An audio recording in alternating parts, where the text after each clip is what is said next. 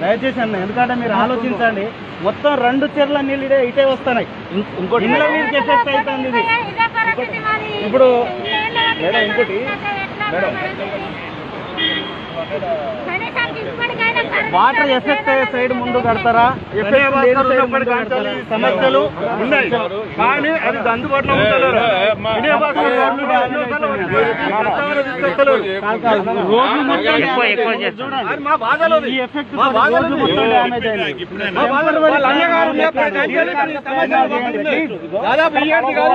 ఇప్పుడు మొత్తం పేదోళ్ళం మేము ఉన్నోళ్ళం అంతా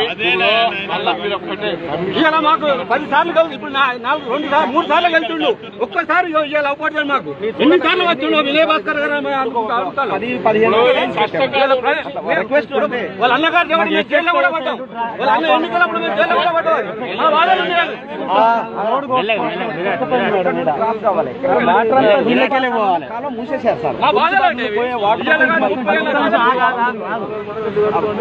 సెంట్ పీటర్ స్కూల్ నుండి పోయే కాలం అది.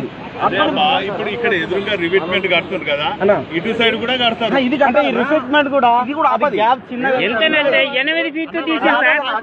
ఎనిమిది ఫీట్లు తీసిన ఒక ఇరవై ఇరవై నాలుగు ఫీట్లు తీస్తే మొత్తం పోతాయి? చిన్న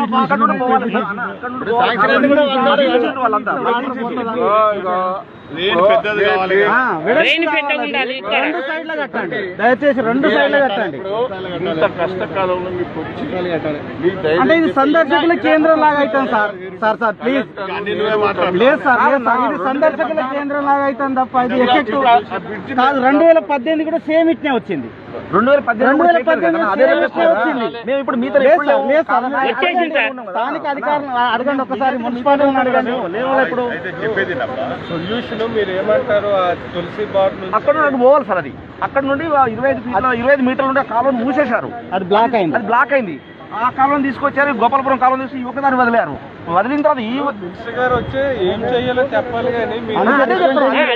విషయం representation. రిప్రజెంటేషన్ సార్కి అదే అదే రిప్రజెంటేషన్ సార్. మేము వేరే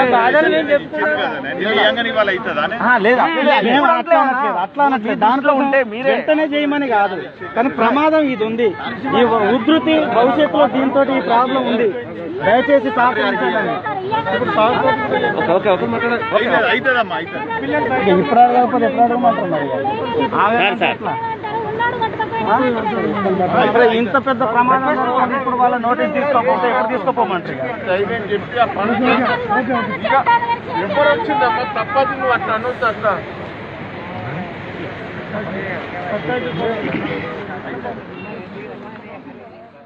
ఏంటండి? వీడియో నచ్చిందా?